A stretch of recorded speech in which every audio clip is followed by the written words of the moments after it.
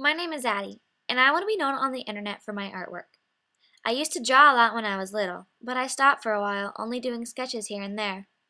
What made me start again was that I saw an ad for DeviantArt.com where other artists could share their art to get feedback.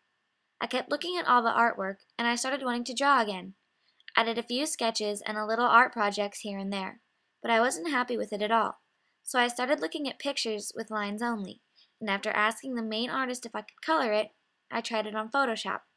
And that's where I found what I thought that I had something decent enough to post. So I gave credit where credit was due and posted. Now my friend and I share a profile where if we work on something together, we can post it and not have to worry about explaining who we worked with. We may not be well known, but I think that it's really a boost in any artist's confidence to draw and post on the internet. When we see that one message in the menu bar and we see that someone favorited or commented positively on your artwork, I think it makes you want to do more. So that's what I want to be known for my artwork.